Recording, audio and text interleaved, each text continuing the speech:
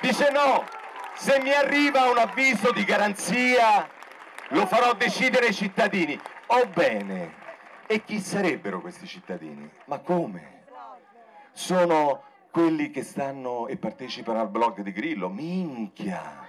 2, milioni e 600 mila romani tutti sul blog di Grillo, magari così alimentiamo un po' le pubblicità che lo finanzia il blog di Grillo. Dice no, ci ha spiegato nel confronto, dice no, no, no, no, aspettate, se non basta il blog di Grillo useremo il sito del comune di Roma, minchia! E voi immaginate tutti, ma se ti ha eletto il popolo, come fai a far partecipare il popolo attraverso il sito? Di che cosa stai parlando? Non sai neanche di che cosa stai parlando. Il problema è che te lo dovresti porre prima il problema alla luce di quello che sta accadendo, se ti arriva un avviso di garanzia o meno. Te lo dovresti porre prima.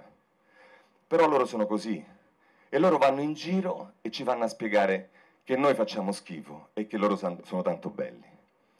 Io penso però, ve lo dico molto francamente, che in questi giorni, in queste ore, le persone stanno cominciando a capire come vanno le cose e che al di là del bello o del brutto, e che al di là del bello o del brutto, il problema che ha questa città è che deve immediatamente ripartire perché è una città al collasso.